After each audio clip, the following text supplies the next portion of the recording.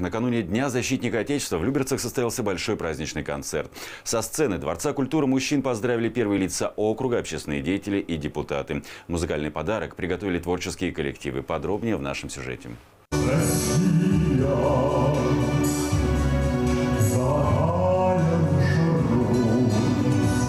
Это праздник смелых и мужественных людей, тех, кто защищал нашу родину на фронтах, кто прошел службу в армии и кто своим ратным и мирным трудом верно и преданно служит отчизне.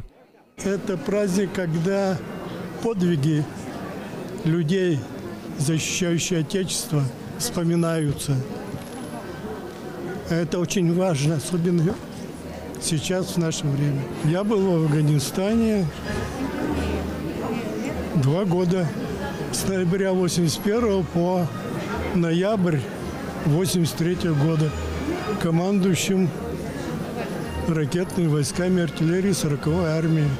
Концерт начался с торжественного выноса флагов Российской Федерации, Московской области и городского округа Люберцы. Прозвучал государственный гимн страны.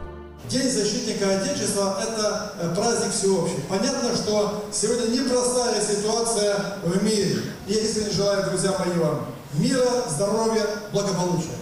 Сегодня в рядах российской армии несут службу 512 либерецких парней. Более 700 наших земляков прошли Афган. Около 350 участвовали в первой и второй чеченских кампаниях. Особое внимание участникам Великой Отечественной. В округе в настоящее время проживают 67 фронтовиков. Нет у нас ни одной семьи, которая бы не была связана с вооруженными силами.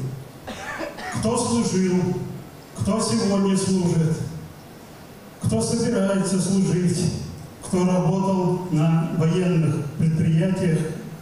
Все мы с вами связаны с армией.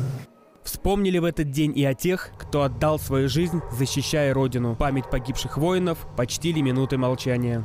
Вспомнить тех наших россиян, люберчан, для кого этот день был одним из самых важных, когда они присягу принимали, когда они защищали Родину и во время войн, и в горячих точках.